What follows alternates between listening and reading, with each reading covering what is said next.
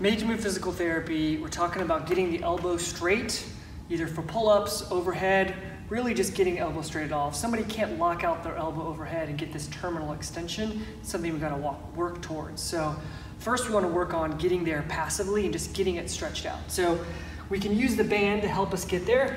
We're gonna put the band just above the tip of the elbow. We're gonna get some tension on it and we're gonna let that, we're gonna put the weight through this arm and we're gonna let that band kind of pull us straight. You gotta make sure that you're not turned out. You gotta keep those fingers facing forward so that band is going perfectly perpendicular. All right, and so we wanna get some extension there.